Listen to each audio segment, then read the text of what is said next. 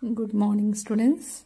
Today I am going to teach you English 2 of first class. Next book, work book. It is related uh, related with English reader books. First chapter, chapter number 1, a new baby. First exercise is name the things that Tina uses. Choose word from the box. There are some words bottle, beef, shoes, palm, socks, tub. We will write here. This pictures you are looking that pictures now. Uh, so we will write their names. First pictures of shoes. Second one is bib, tub, palm, socks and bottle. Next exercise B. Read the clues and fill in the missing letter. First question is my father's mother is my grandmother. Spelling of grandmother is G R A N D grand M O T H E R mother grandmother.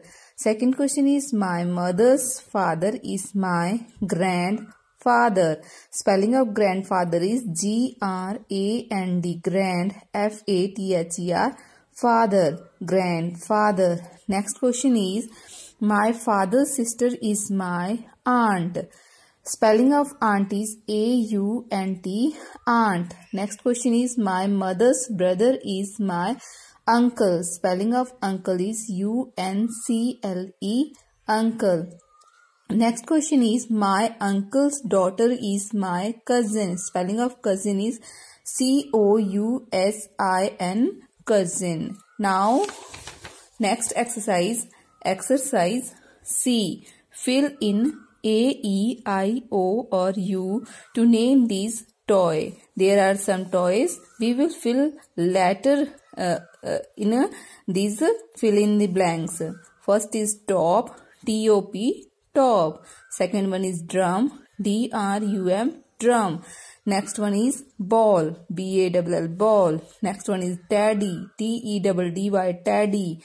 Engine, E-N-G-I-N-E, engine. Next one is robot, R-O-B-O-T, robot. Next one I will teach you page number 10. Open the page number 10. That poem, clouds.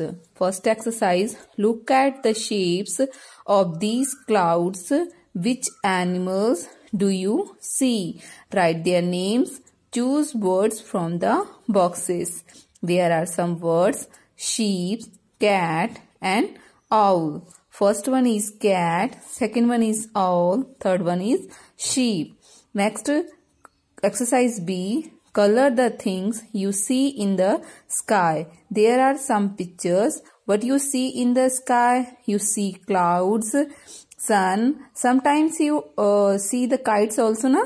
So we will color that three things uh, with color. Next topic I will teach you in the next morning. Thank you.